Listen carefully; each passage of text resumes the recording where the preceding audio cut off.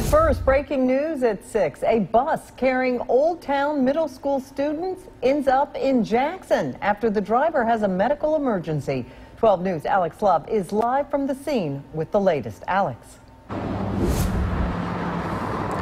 Am right next to the Northside Drive and State Street intersection, and right behind me is Fire Station number 7, which is along State Street. It was here bus number 74 of Madison County Schools had to suddenly stop way off course with the driver in distress. We're told he had just picked up students from Olde Towne Middle School and Ridgeland High School, and Ridgeland High School, but instead of driving them home, he came into Jackson. Students we spoke with tell me they, they started to worry when he drove off county line and kept heading south. They they were all they all were soon on the phone with mom and dad because the bus driver was not responding to them. Madison County School says the driver had what had what they called a a mini medical incident. Eventually, the students got the driver to stop at the fire station, and students jumped out and alerted firefighters to help the driver.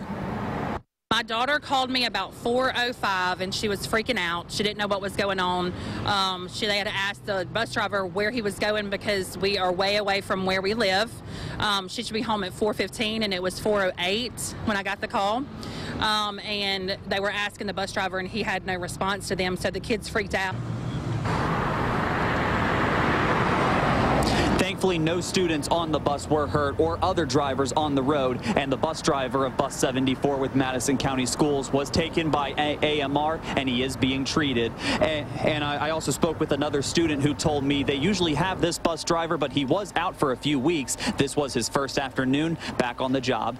We'll have much more coming up in our 10 p.m. newscast and hear from students who were on the bus. For now, reporting live in Jackson, Alex Love, 12 News.